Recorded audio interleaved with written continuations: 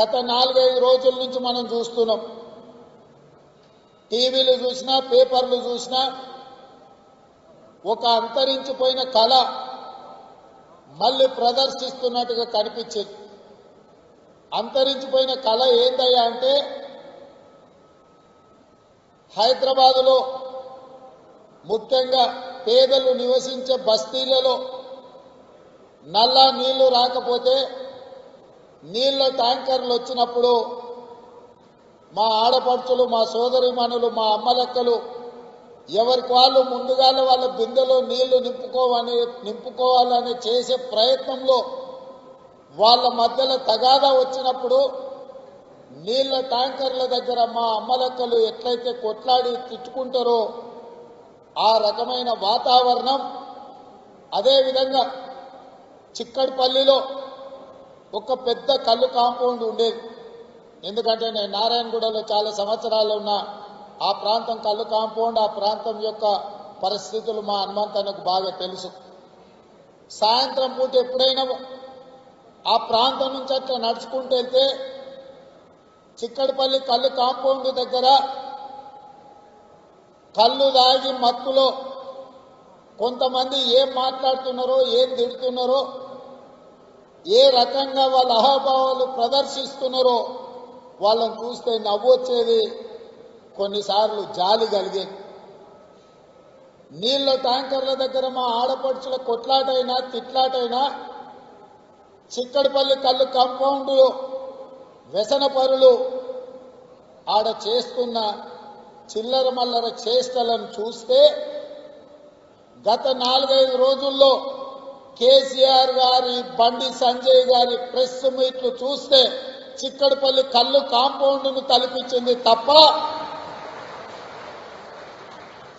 కేసీఆర్ గారి భాష కేసీఆర్ గారి వ్యవహార శైలి కల్తీ కళ్ళు దాగిన కాంపౌండ్లో చిందులేసినట్టుగా ఉంది తప్ప ఈ రాష్ట్ర ముఖ్యమంత్రిగా పరిపాలనాధ్యక్షుడిగా పరిపాలన విషయంలో ప్రభుత్వ పథకాల అమలులో సంక్షేమం అమలు చేయడంలో లేకపోతే అభివృద్ధి పథకాలను ముందుకు తీసుకెళ్ళడంలో ముఖ్యమంత్రి గారు ఈ రాష్ట్ర ప్రజలకు దశాదిశ నిర్దేశించినట్టుగా లేదు.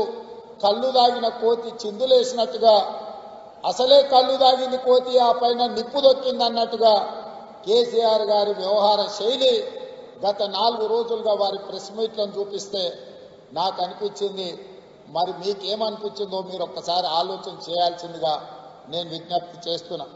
అదేవిధంగా అతని కంటే గనుడు ఆచంట మల్లన్న అన్నట్టు గుండు అరగుండు బోడగుండు కలిసి మూడు నాలుగు రోజులు వరుసగా ప్రెస్ మీట్లు పెట్టింది గుండైనా అరగుండైనా బోడిగుండైనా ఇన్నాళ్ళు ఒక మాట మాట్లాడింది కల్వకుంట్ల చంద్రశేఖరరావు గారి కుటుంబం ఈ రాష్ట్రాన్ని కొల్లగొట్టింది వేల కోట్ల దోపిడీకి పాల్పడిండ్రు. వీళ్ళని చొక్కా బట్టి ఈడ్చుకొని పోయి అవినీతిలో జైల్లో పెడతాము. నీకు రోజులు దగ్గర పడ్డాయి బిడ్డ అని చెప్పి గుండు అరగుండు పదే పదే మాట్లాడింది. మరి నేను ఈరోజు అడుగుతున్నా కల్వకుంట చంద్రశేఖరరావు గారు సవాలు విసిరిండ్రు. బిడ్డ నేను నా కుటుంబం అవినీతికి పాల్పడితే నీ చేతనైతే టచ్ చేసి చూడు నీ గుండు పదహారు ముక్కలైతుంది అన్నప్పుడు ఈ బోడగుండోడు గాని అరగుండోడు గాని ఎందుకు మాట్లాడలేదు? ఎందుకు ఆ విషయంలో స్పష్టతని ఇవ్వలేదు అని చెప్పి ఈ వేదిక మీద నుంచి నేను అడుగుతున్నా. ఇవాళ మిత్రులారా కేసీఆర్ బీజేపీ వేరు వేరు కాదు. నరేంద్ర మోడీ కేసీఆర్ కవల పిల్లలు. అధికారాన్ని చెలాయించడంలో అటు కేంద్రంలో ఇటు రాష్ట్రంలో ప్రధాన ప్రతిపక్షమైన కాంగ్రెస్ పార్టీని ప్రధాన శత్రువుగా చూస్తూ కాంగ్రెస్ పార్టీని ఎదగకుండా కాంగ్రెస్ పార్టీని గెలవకుండా ఇద్దరు వ్యూహాత్మకంగా ఎత్తుగడలతోని కాంగ్రెస్ పార్టీని ఎదగనీయకుండా గెలవనీయకుండా ఈ రాజకీయ రచ్చ చేస్తుండ్రు తప్ప వాస్తవంగా వాళ్ళ మధ్యలో ఎలాంటి విభేదాలు లేవు ఎలాంటి కొట్లాటలు లేవు. ఇవాళ నేను అడుగుతున్నా. ఇవాళ నేను కేంద్ర మంత్రి కిషన్ రెడ్డి గారిని సూటిగా ప్రశ్నిస్తున్నా. పార్లమెంటు సభ్యుడు భారతీయ జనతా పార్టీ అధ్యక్షుడు బండి సంజయ్ గారిని ఈ వేదిక మీద నుంచి పాత్రికేయ మిత్రుల సాక్షిగా కాంగ్రెస్ పార్టీ కార్యకర్తల అనుమతితోని నేను అడుగుతున్నా. కల్వకుంట్ల చంద్రశేఖరరావు గారు ఏడున్నర సంవత్సరాల పరిపాలనలో వేలాది కోట్ల రూపాయల అవినీతికి పాల్పడ్డాడు. ఆధారాలతో సహా కూడుకున్న వివరాలు మేము ఫిర్యాదు చేస్తాం. గత ఐదు నెలలుగా కేంద్ర హోంశాఖ మంత్రి అమిత్ షా గారి అపాయింట్మెంట్ మేము అడుగుతుంటే వివరాలతో కూడుకున్న ఫిర్యాదు చేస్తామంటే ఇంతవరకు మాకు అనుమతి ఇవ్వలేదు. మాకు అవకాశం ఇవ్వలేదు. ఇవాళ నేను అడుగుతున్న కిషన్ రెడ్డిని బండి సంజయ్ని. మీకు ధైర్యం ఉందా? చిత్తశుద్ధి ఉందా?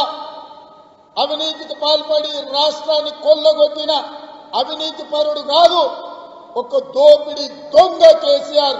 ఈ దోపిడి దొంగకు వ్యతిరేకంగా మేము ఫిర్యాదు చేయడానికి ఆధారాలు ఇవ్వడానికి సిద్ధంగా ఉన్నాం. అమిత్ షా గారి అపాయింట్మెంట్ ఇప్పించే ధైర్యం చిత్తశుద్ధి మీ ఇద్దరికి ఉందా అని చెప్పి నేను ఈ వేదిక మీద నుంచి అడుగుతున్నా. తెలంగాణ ప్రజల యొక్క సెంటిమెంటును తెలంగాణ ప్రజల యొక్క జీవన విధానాన్ని తెలంగాణ ప్రజల యొక్క జీవితం మీద అత్యంత ప్రభావం చూపించే అంశాలనే కేసీఆర్ గారు అవకాశంగా మార్చుకొని అవినీతికి పాల్పడి వేలాది కోట్ల రూపాయలు కొల్లగొట్టింది. పద్నాలుగు సంవత్సరాల తెలంగాణ ఉద్యమంలో కల్వకుంట్ల చంద్రశేఖరరావు గారు పదే పదే చెప్పేటోడు ఈ తెలంగాణ రాష్ట్రం ఏర్పడితే నీళ్ళు నిధులు నియామకాలు మన చేతిలోకి వస్తాయి. మన తెలంగాణ బంగారు తెలంగాణ అవుతుంది అని చెప్పేవారు. ఇవాళ నీళ్ళు నిధుల నియామకాలను అడ్డం పెట్టుకొని కేసీఆర్ గారు తెలంగాణ రాష్ట్రం ఎట్లా కొల్లగొట్టిందో ఈ వేదిక మీద నుంచి నేను చెప్తున్నా వినండి విని వారిని బొక్కలో తొయ్యండి అని చెప్పి నేను ఈరోజు బీజేపీని కేంద్ర ప్రభుత్వాన్ని నిలదీస్తున్నా. నీళ్ళ విషయానికి వద్దాం. ఆనాడు కాంగ్రెస్ పార్టీ అధికారంలో ఉన్నప్పుడు ప్రాణహిత చేవెళ్ళ ప్రాజెక్టు పేరు మీద ముప్పై ఎనిమిది వేల ఐదు వందల కోట్లతోని పదహారు లక్షల ఎకరాలకు నీళ్ళు ఇవ్వడానికి రెండు వేల ఎనిమిదిలో టెండర్లు పిలిచి తెలంగాణ రాష్ట్రం ఏర్పడేటప్పటికి ముప్పై శాతం పనులు చేసి దాదాపుగా పన్నెండు పదమూడు వేల కోట్ల రూపాయలు ఖర్చు పెట్టి చేవెళ్ళ వరకు నీళ్ళు తీసుకురావడానికి పనులన్నీ చేస్తే ఆ ప్రాజెక్టులో పైసలు మిగిలవు కమిషన్లు రావు అని రీడిజైనింగ్ పేరు మీద ప్రాణహిత చేవెళ్ళ పేరు ఉంటే డాక్టర్ బాబాసాహెబ్ అంబేద్కర్ గారిని తలుచుకుంటే అవినీతి ఎక్కడ బయటపడుతుందో అని డాక్టర్ బాబాసాహెబ్ అంబేద్కర్ ప్రాణయిత చెవెళ్ళ పేరు మార్చి కాళేశ్వరం ఎత్తిపోతల పేరు మీద ముప్పై ఎనిమిది వేల ఐదు వందల కోట్ల రూపాయల ప్రాజెక్టును లక్ష యాభై వేల కోట్ల రూపాయలకు పెంచి వేల కోట్ల రూపాయల దోపిడీకి పాల్పడ్డాడు. నీకు చిత్తశుద్ధి ఉంటే నరేంద్ర మోడీ అమిత్ షా నీతి నిజాయితీ పనులు అయితే కల్వకుంట్ల చంద్రశేఖరరావు గారి దోపిడీ మీద విచారణకు ఆదేశాలు ఇచ్చే ధైర్యమే ఉంటే ప్రాణహిత చేవెళ్ళ ప్రాజెక్టు పేరును మార్చి కాళేశ్వరం కార్పొరేషన్ ఏర్పాటు చేసి బ్యాంకులలో వేలాది కోట్ల రూపాయల లోన్లు తెచ్చి ఇప్పటికి లక్ష కోట్లు ఖర్చు పెట్టిన కాళేశ్వరం మీద సిబిఐ విచారణకు ఆదేశించే ధైర్యం ఉందా? టెండర్ల మీద బిల్లుల మీద కమిషన్ల మీద నిరూపించే బాధ్యత కాంగ్రెస్ పార్టీ తీసుకుంటుంది. కాళేశ్వరం మీద సిబిఐ విచారణకు ఆదేశించండి. నిరూపించకపోతే రాజకీయంగా శాశ్వతంగా నేను తప్పుకుంటా అని చెప్పి ఈ వేదిక మీద నుంచి కేసీఆర్కు కిషన్ రెడ్డికి నేను సవాల్ విసురుతున్నా.